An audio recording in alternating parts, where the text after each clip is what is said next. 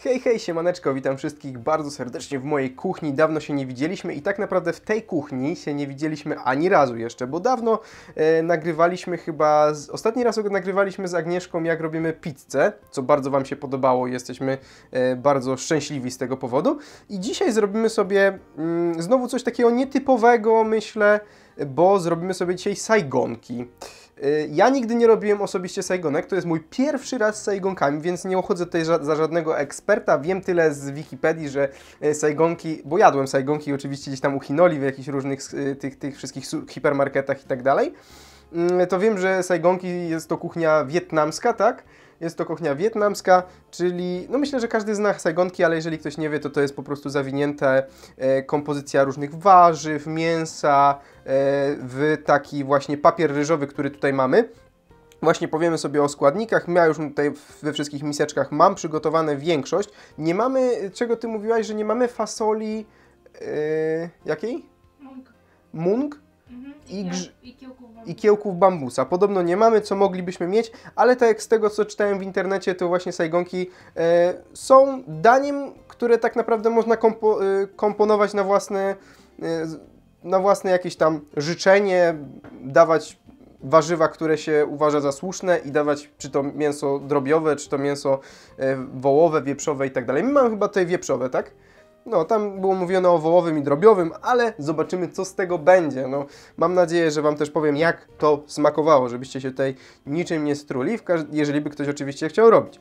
E, moimi rękoma to wszystko będzie robione, bo Agnieszka podgląda mnie na smartfonie, czy wszystko widać, czy jestem w kadrze. E, no i taki sobie tutaj stoliczek przygotowałem. Mam nadzieję, że wszystko dobrze słychać, wszystko dobrze widać. I przechodzimy do składników, żeby tutaj już za długo nie gadać. E, ogólnie te w ogóle właśnie, właśnie to wszystko, co zawiniemy ten papier ryżowy, później smażymy na głębokim oleju, ale do tego dojdziemy. Składniki. Składniki. Co my tutaj mamy? Mamy mięso e, wieprzowe, tak? Mielone mięso wieprzowe. Nie wiem ile go jest, ale jest go tyle. Kilogram.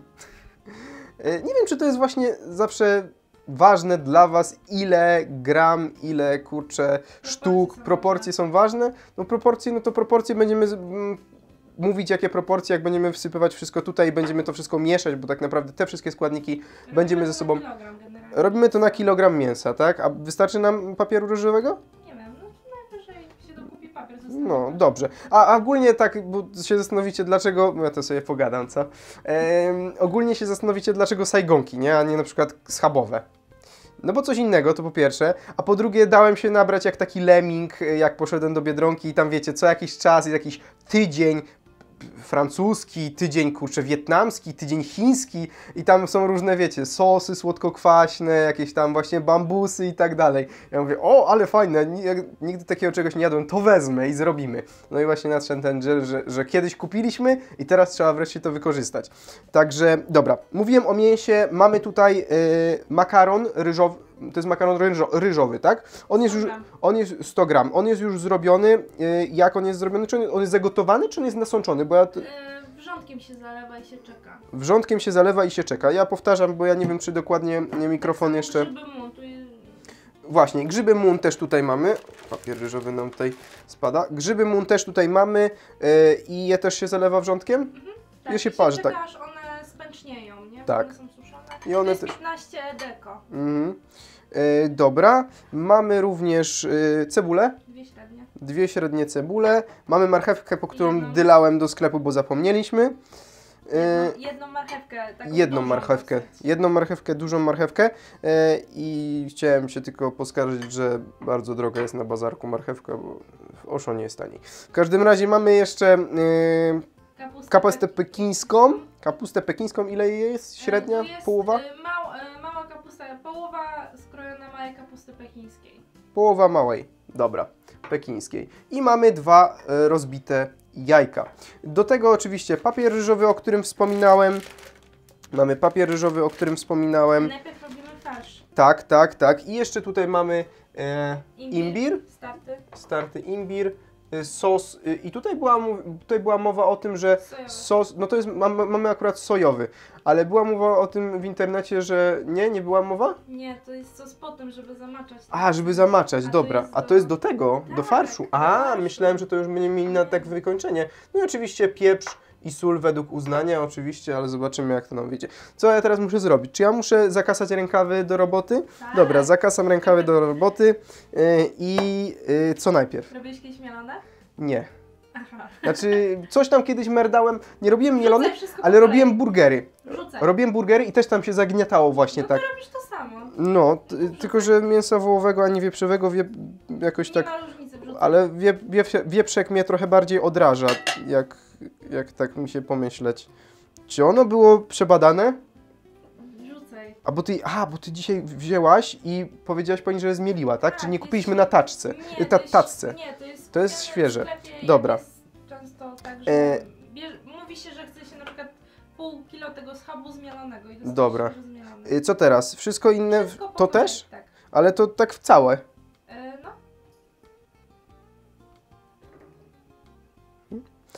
E, teraz tak, to, może powtarzać co to jest, co? no makaron ryżowy, mięso, to jest cebula. Tak. Jezus Maria, ja się E, będę musiał na- babrać. Znaczy namówiłam Kamila, żeby em, jakby wrzucił wam cały przepis, tak żebyście nie musieli zapisywać, tylko on by gdzieś tam był widoczny. Ja dla pewnie zapomnę, albo mi się nie będzie chciało. No to ja mu gdy ci przypomnę. Dobra. Czy cebulkę mam tutaj, kurczę... Tak, kochanie. Ja nie, ja powinienem lewą ręką robić, bo akurat z lewej strony mam kamery. No już mi się coś wysypało na, na stół. Stół z Ikeły. Tutaj marcheweczka. Niech będzie. Dlaczego ja, dlaczego ja wsypując to nie mówiłem co to jest, kurczę. Tylko musiałem sobie nagadać, nagadać, nagadać i... I ja teraz muszę ponownie to wszystko robić. I, I co? Jeszcze imbir i ten sos też zalać tutaj, tak? Tak, ale najpierw weź wrzuć dwa jajka i zacznij to gnieść. Aha. O fuj, a shit. Dobra, Może być jajek za mało w razie co to w międzyczasie do, do tego to wam dorzucimy. powiem jakby było za mało. Bo ja robię pierwszy raz, to pamiętajcie. Powiedziałam, To że też najpierw rzucać? zagnieść, a Aha. potem dodaj. No a jak, ja będę miał brudne rączki. Ja ci. Ale tak kochanie do mięsa się dobierz, dobrze? Bo to na razie... Nie... To od razu byś do mięsa się dobra, dobierała. E, słuchajcie, To może- generalnie makaron jak sparzyliśmy, on jest bardzo długi, ja go kroję. E, tak samo grzyby mun, żeby to się nigdzie nie ciągnęło, tylko mniej więcej stanowiło jednolitą masę. Nie mam kons- kon- kontaktu z bazą, przez co nie wiem, czy cię dobrze słychać w moim mikrofonie krawatowym, który mam pod moją brodą. To. Że makaron jest długi i Agnieszka go kroi. I grzyby mun też. A co my kupiliśmy w ogóle w Biedrze z tych takich właśnie wietnamskich rzeczy? Ten, ten, ten makaronik. Tak, E, ryżowy, ry- papier ryżowy. Papier, sos sojowy. Aha. Ale były też tam pędy bambusa i ta fasola mód. A ciekawy jestem, czy to jest dostępne, te takie składniki są normalnie dostępne, jak sobie pójdę na przykład gdzieś, kurczę, do jakiś, jakiegoś hipermarketu wielkiego, Większość tak, to one są tak. chyba dostępne gdzieś tam w Tak, tych dzi- dziwnych żywnościach, nie? Tak, Dobra. Ja tylko jedną ręką tutaj robię, żeby mieć jedną chociaż czystą. Ja strasznie nie lubię się babrać w ten sposób. Ja ogólnie lubię być czystym chłopcem. Ja wolę być czysty niż szczęśliwy. Prawda? Trzeba jajka dodać. No to muszę ci dać jajko, a ty mi musisz rozbić jajko, prawda? Nawet dwa. Yy, tylko które to były? Obojętnie. No to masz tutaj jaja. Czekaj. Proszę bardzo. Uważaj na statywy. Macie je wbić? Yy, tak, no bij. Ja się tutaj może podrzucę troszeczkę, tylko nie między kamerami, tylko tutaj obok, bo jak statyw mi ruszysz, to... Dobra, o właśnie. O, no nie! Ja tu zamiatałem! Spadł kawałek, kurczę, grzybka na, na podłogę, Straszna, szkoda mi tak. Bo mi z ręki będzie ciekł. Rozbiłaś już jakieś? Możesz teraz dać sobie te przyprawy. Dobra, daj, daj, daj, daj, daj.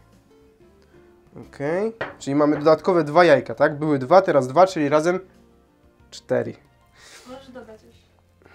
Co to jest, kochanie? To jest imbir, którego ja tak średnio lubię, ale myślę, że taka ilość do takiej dużej... Chociaż imbir jest dosyć aromatyczny. Imbir, yy, no... Agnieszka sobie robi czasami herbatę, znaczy herbatę.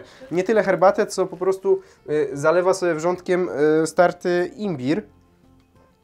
co jak ja się, jak ja kiedyś spróbowałem się napić tego, to po prostu stwierdziłem, że no nie. Myślałem, że mnie po prostu tak, tak mnie drapało w gardle, że to jest po prostu jakaś porażka. Ja strasznie lubię sos sojowy. Ostatnio, ostatnio dosyć często, no uważaj na te, na statywy, bo jak któryś dotkniesz, mogliśmy to zrobić z jakiejś saszetki, a nie kurczę z takiego, Machaj. ale co, tym? No, To mów ile.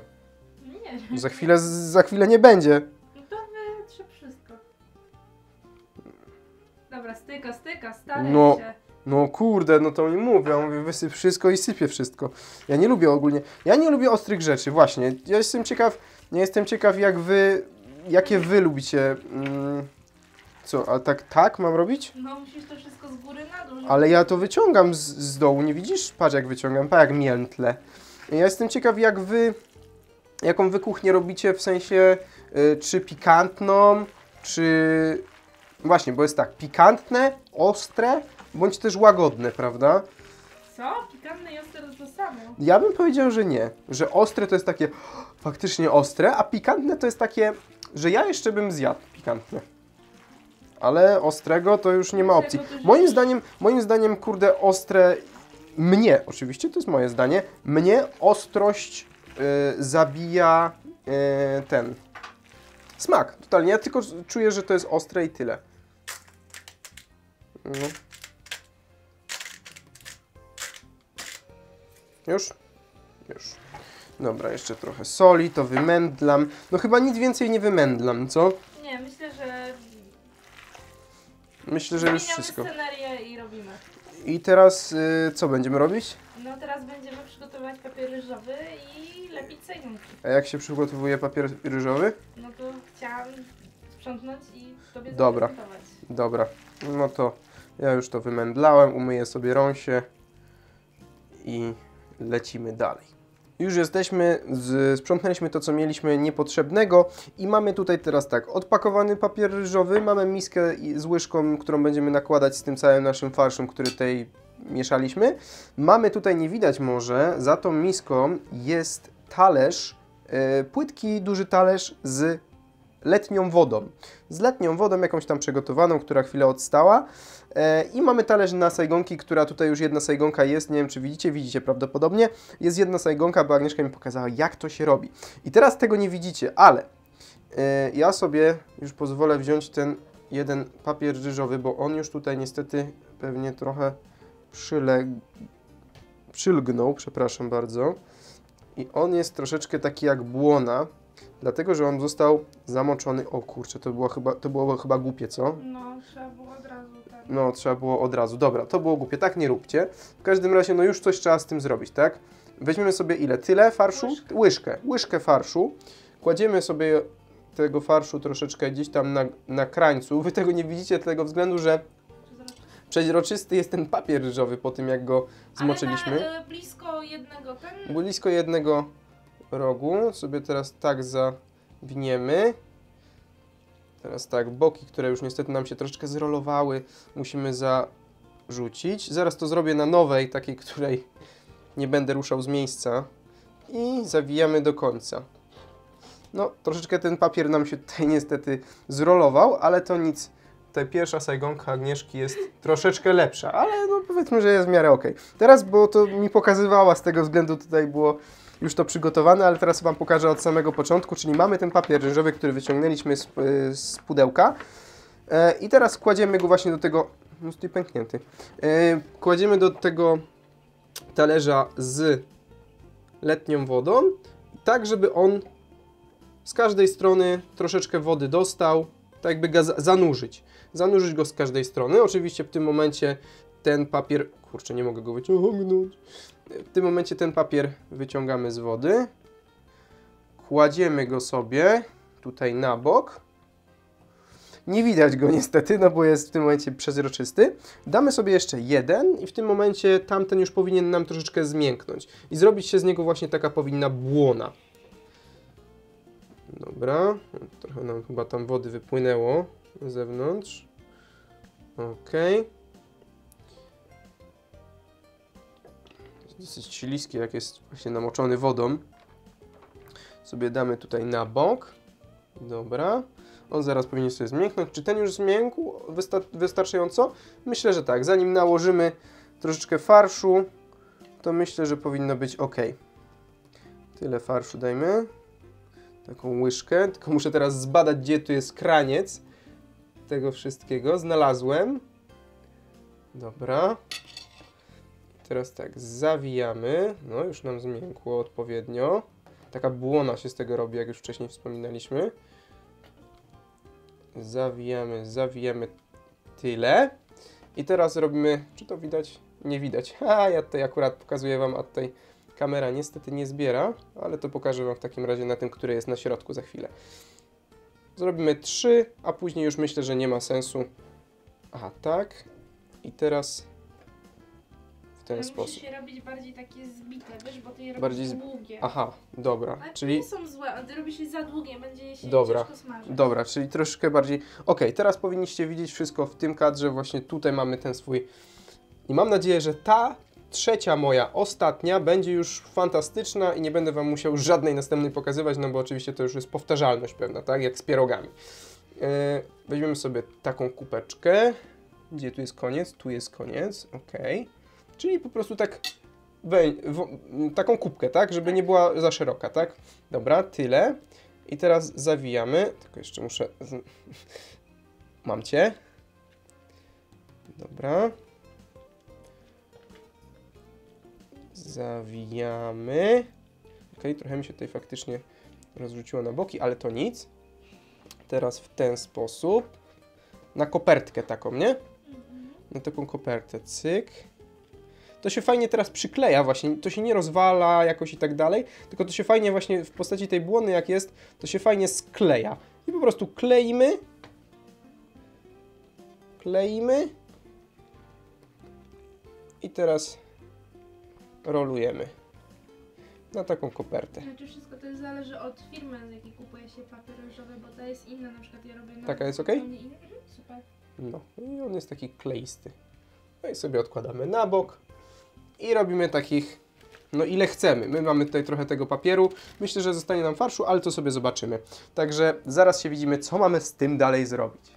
Dobra, kochani, e, mamy tutaj patelnię z już rozgrzanym olejem. E, jest to, czy jest to ważne, jaki to jest olej? Nie, nie jest to ważne, jaki jest olej. Jest to w każdym razie na głębokim tłuszczu, jak to możecie zau- zauważyć. E, roślinny. Roślinny. I mamy nasze sajgonki, wyszło ich 25, więc e, zostało trochę nam farszu, e, także na 200 gram chyba tego 300 gram to będzie, nie? Tyle farszu, bo my zrobiliśmy na 200 i trochę zostało. E, także kładziemy teraz nasze sajgonki. Mam kłaść jedna po drugim? Po drugiej? Dobra, to kładę jedna po drugiej. Na tym głębokim oleju. Tutaj trzeba będzie szybkim być. Oczywiście założyłem sobie kubraczek, żeby się nie zafajdać. Mam nadzieję, że mimo, mimo oświetlenia, które tutaj przy tej kuchence jest, to wszystko widzicie. I będziecie mogli coś z tego wynieść. Dobra, więcej sajgonek chyba tutaj nie włożę, tak mi się wydaje, bo one się zaraz mogą posklejać, chociaż olej to je zaraz rozklei. Dobra, chyba więcej niestety nie dam rady. I one mają się smażyć do osiągnięcia e, takiego brązowo-złocistego koloru, tak? Dokładnie, więc to jest, nie jest powiedziane ile dokładnie, e, tylko trzeba to dokładnie obserwować. Dokładnie, dokładnie, dokładnie. E, tutaj jeżeli chodzi o farsz, to też warto zauważyć, że e, no farsz, jeżeli zostawimy tak naprawdę gdziekolwiek, gdziekolwiek robimy jakikolwiek farsz, to jak zostawimy farsz w lodówce na kilka godzin, to ten farsz będzie troszeczkę lepszy z tego względu, że on przejdzie tymi wszystkimi przyprawami i tak dalej, wszystko się tak ładnie, powiedzmy, zamarynuje. Więc jeżeli by ktoś chciał, miał plan, że zrobi sobie te sajgonki, to na pewno warto zrobić go troszeczkę wcześniej, żeby to ten farsz sobie tak ładnie przeszedł. E, tutaj mówię, pierwszy raz robię sajgonki osobiście, mam nadzieję, że to jakoś wyjdzie, ale wiem, że wśród Was są e, osoby, które pracują w różnych restauracjach, być może jac- jacyś szefowie kuchni e, się znajdą tutaj na tym kanale, którzy na pewno mnie mogą jakoś po, do, douczyć, pouczyć, co mógłbym zrobić lepiej, bądź co bym mógł zrobić inaczej. E, Ale robimy, mam nadzieję, że wszystko wyjdzie. Ja tutaj teraz będę musiał sobie zaraz jakoś radzić z tym, żeby to wszystko obracać. Sobie dajmy tutaj te przyrząd- urządzonka. I teraz tak, ja mam co chwilę sprawdzać sobie stan y, sajgonki pod spodem. Nie, no daj mi. Daj im chwilę. Dobra, to ja im daję chwilę. I już wszystkie nasze sajgonki zostały usmażone, także pominęliśmy ten etap. Wyglądają one w ten sposób, właśnie ten taki brązowo-złocisty kolor. Myślę, że każdy będzie wiedział, e, kiedy taka sajgonka będzie już gotowa. Warto sobie po prostu rozkroić którąś z nich i zobaczyć, czy mięso jest w środku usmażone. E, warto też zwrócić uwagę na to, że takie sajgonki fajnie by było sobie smażyć na przykład we frytkownicy e, albo w jakimś duży, głębokim garnku, żeby jak ktoś ma dużo oleju, żeby po prostu Wam z patelni to wszystko e, nie pryskało, ten olej nie pryskał, bo ja tutaj w tym momencie zaraz będę musiał się zabierać zaraz po jedzeniu e, za mycie tej kuchenki, bo jest po prostu cała w oleju. E, Także tyle. Jeżeli Wam się podobało, zostawcie łapę w górę i zostawcie komentarz, ale jeszcze przejdziemy do degustacji. Przy okazji też przepraszam za to, że tam może być jakiś, mogę być jakoś niedoświetlony, ale mam niestety ślepą kuchnię, więc mam nadzieję, że prędzej czy później nad tym będziemy pracować. E, Ale teraz zaraz zobaczmy, czy jakaś sajgonka jest tutaj gotowa do zjedzenia. Ja sobie wezmę paluchami, umyłem rączki, spokojnie. E, ale nie chcę mi się już tutaj babrać z jakimiś pałeczkami i tak dalej, i tak dalej. Weźmiemy sobie jedną sajgonkę i zobaczymy,